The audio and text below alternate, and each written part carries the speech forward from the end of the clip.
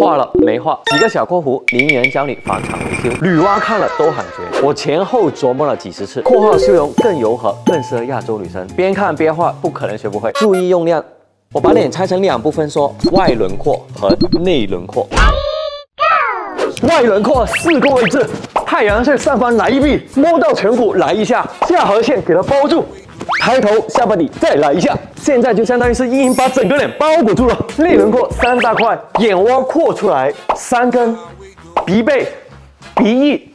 鼻头画个小海鸥，唇窝上下各来一下，再来高光也一样，先外轮廓，额头向下弯，眼尾向上一提，再内轮廓，眼头这笔很重要，面中鼻基底一直连到法令纹，三根鼻头各来一点，最后下巴一秒截图，细节用刷子，大面积用滋润美妆蛋，给我晕。